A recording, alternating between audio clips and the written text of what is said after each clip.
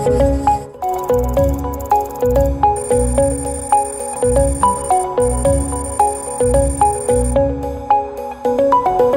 Arraial da Forquilha.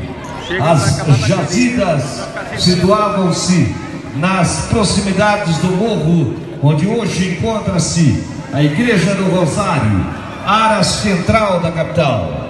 Hoje, 299 anos após a a Prefeitura Municipal de Cuiabá recebe com imensa satisfação para o desfile cívico-militar a todos vocês. Sejam todos bem-vindos!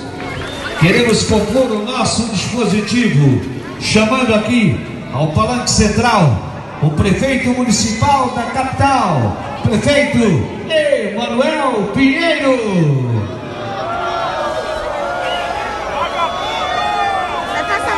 Convido para compor o dispositivo o vice-prefeito de Cuiabá, Nilan Ribeiro.